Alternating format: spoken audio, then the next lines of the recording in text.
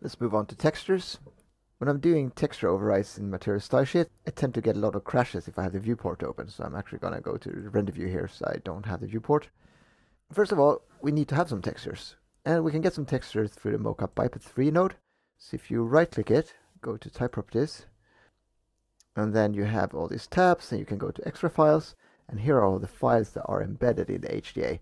And if we go down to the bottom, we can find these JPEGs, which are different textures.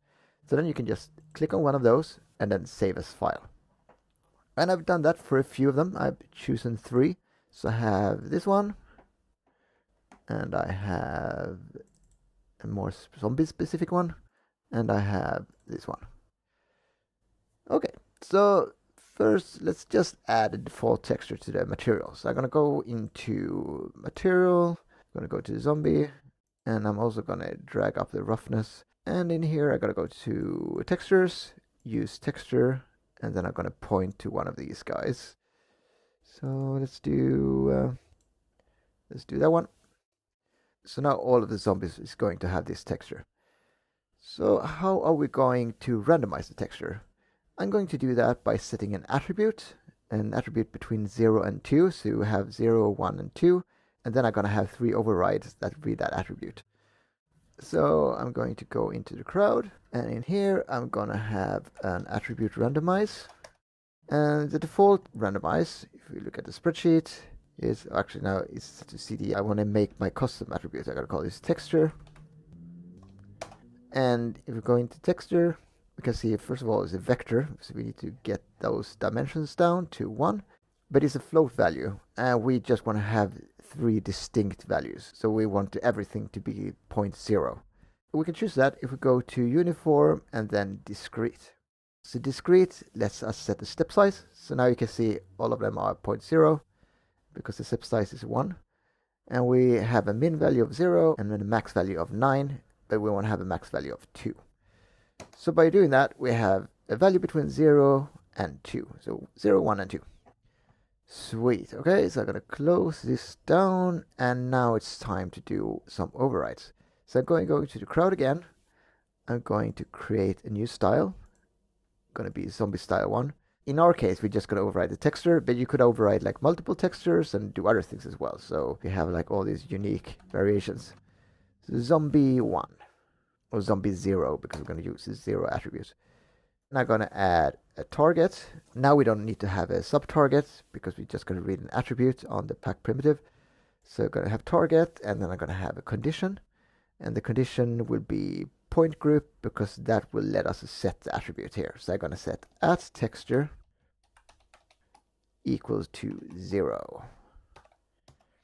And when we have that, we want to do this override. We're going to set the material parameter I'm going to choose what parameter we're going to overwrite. So I'm going to go to the material, zombie, and textures, base color, and base color texture here. So now have that, and you can see by default it just gives us whatever we have set in that parameter already. So we're going to have that for our default zombie. Let's do that, and then let's copy this. So we do copy zombie, and then going to paste it twice. So with zombie 1, I'm gonna rename this to zombie 1 and then do a zombie 2 and let's have a different override. Let's first of all change the conditions. This one is 1 and then we want to have another texture. So I'm gonna go in and select one of my textures. So texture let's do that texture. And then for this zombie 2 set this texture to 2. And for the texture, let's select the last one, this one. So now we should have, in theory, we should have three different ones. So let's see if we have that. And let's press render.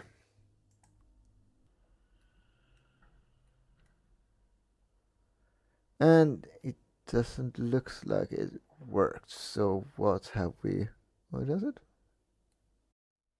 Actually, I'm gonna go change one thing in the material here actually because we're setting a texture. I'm going to go to material and then I'm going to stop this and then I'm going to set the surface color to 1 because that's going to be multiplied with the texture.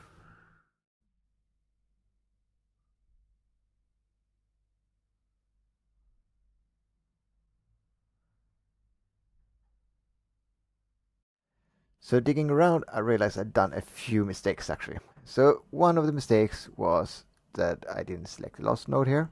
But you can see even if I have the last node selected, I still just have two of that variation, which is a bit odd. To make it easier to see what's going on, I'm going to go to the material, and then I'm going to go to the zombie, and then here in the use texture, I'm just going to delete that texture. So now only the style sheets are giving the texture, and now it's easier to see what's going on.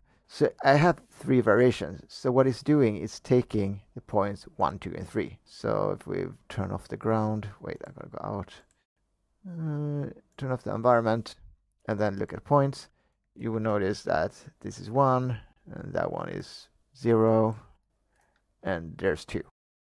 And that is because we had a space here in this material style sheet. So if I go to zombie uh, and see this texture, I can't have that space. So it's just reading this one and setting that. So let's delete that space. And now you can see we have more with that zombie texture. And then if we go to that one and then delete the spaces here. Now we've got those guys. And the last one, remove some spaces. And then we got all of them. So now another feature I'm just going to show you while we're at it. You can also use these to just visualize one override. See, I can select them, and that can be quite handy.